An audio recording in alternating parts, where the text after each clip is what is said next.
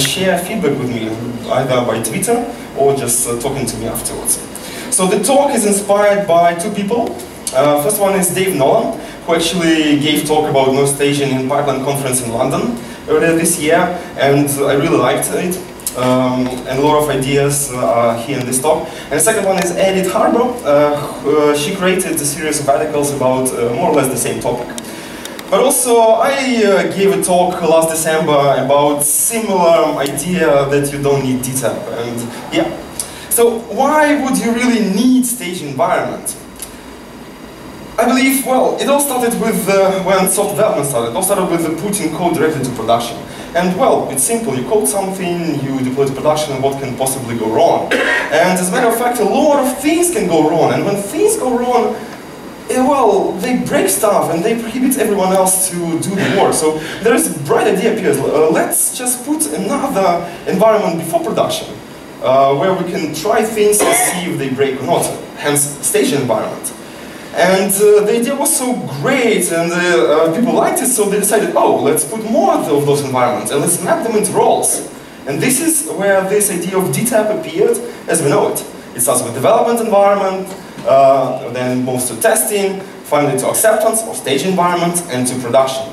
And if you think of this, uh, what it really is is uh, increasing the quality at the expense of time. And sometimes it's not even increasing the quality. But anyway, it takes a lot of time uh, to go through this uh, street of DTAP. And it goes even um, more complex because if you need to produce a fix, it needs to go through the same street. And this takes a lot of time. Deploy directly to production. And then we're back to square one. Why would we do it? What other thing that people have found is that it's hard to test uh, and to find data-specific bugs on the pre-production environments. So yeah, this to me consists of this idea of the war waterfall. Idea that you need to test things before production. The idea you need to uh, gate changes to production, aggregate changes to production, or approve changes to production. And regardless of agile transformation, a lot of companies are still doing this, and I believe this belongs to waterfall mode, uh, world. Same with deployments. When should deployments happen? Okay, in the night, uh, on, on Saturday. Uh, uh, when else? And then uh, it takes weeks, if not days, to prepare, and then hours to execute with the, all the, the, pages of uh, procedure. But then if something goes wrong, you need to roll back, and it also takes hours. And then, well, where will you get some sleep? Well, some other time, because obviously, well, who needs sleep on the weekend?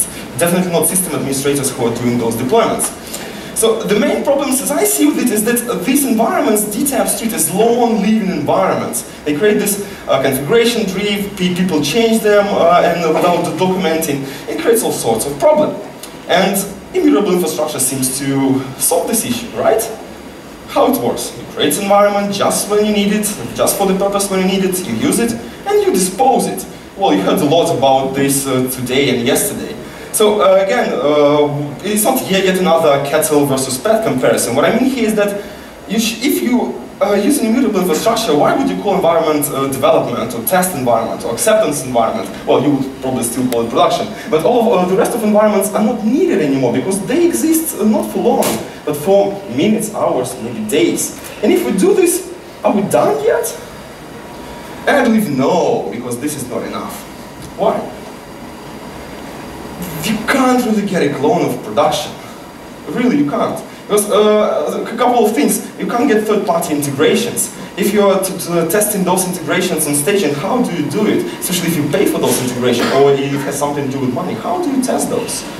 Emails or some other configurations or notifications to users, how do you differentiate them in testing and production? How do you identify those? If you differentiate them uh, with some prefixes or configuration, then you again you're getting further away from production than is needed. And of course, instance type to numbers. But in a nutshell, uh, what is different? You have no real users and you have fake data. So testing on staging provides you with fake confidence because even if you don't find bugs on staging, it doesn't mean that you won't find them on production. Because really what is happening is that you're testing it in production anyway, right? All my career, I was hearing that you should not test in production, like at all. This is wrong thing to do. Things will go wrong. But from what I hear today and yesterday, this is what I believe everyone is heading. What is needed for this? New style deployments. Again, you have a lot of those. Short-lived immutable infrastructure with a zero downtime deployment. Good monitoring, and possibility to quickly roll back, and continuous delivery. If you have all of those, why would you need staging? If you can have an immutable infrastructure that you deploy quickly with every feature, and with, with zero downtime, and you can quickly identify problems and roll back, and you have continuous delivery of features, why do you need staging environment?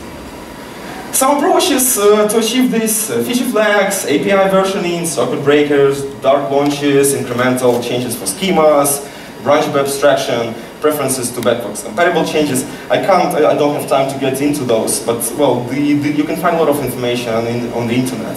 But then yeah, again, why, why would we need to test on staging? This is using synthetic scenarios. And uh, statistics, show that, uh, statistics shows that third of all features are not needed by users. And those that are needed are used differently than uh, people thought they would be. So what you really need is a way of quickly putting your features from developer's laptop to production. So you can validate those, if this is what users really need or not, and if this is what user needs, need uh, put more effort into this, develop those features. If it's not needed, well, don't. Performance testing on stage, and this is what I hear a lot, uh, well, we needed to use performance testing. Mm, I don't think, first of all, that performance testing is needed for every feature. But second, uh, I believe quite the opposite is true. Uh, just don't get traffic in a lot of cases because they're not needed by users. So if you want to do performance testing, why not use immutable infrastructure? Create an environment just for this specific case, run performance testing, and then destroy it. Or maybe even better, create a rolling release and put subsets of your users to test this for you. Well, maybe you can add some synthetic workloads. Furthermore, I believe that staging of microservices is very painful because there is no just well, system in microservices. It consists of a number of separate systems that work together and they're constantly changing, constantly evolving. So when to stage microservices? On every change? On every hour? Nightly? When would we do it and how would we test it? I don't think we need to do it. Why even bother doing this? If deployments in the abandonment, if we can identify failures quickly and recover from them, why do we need to stage those microservices? So yeah, getting to, towards the end, no staging in two easy steps. First of all, remove the static DTAP environment. Automate everything. Just uh, uh, run those environments and create those environments wherever you need it and destroy those. Establish continuous delivery. Invest heavily in automate, uh, automated testing and build the quality into your system. And once you're there, stop using staging environment. Invest in monitoring, in disaster recovery, and put these really tiny, tiny slices uh, of uh, your application to production changes. Because really, staging doesn't give you confidence. If it does, this is a fake confidence. Thank you. Excellent.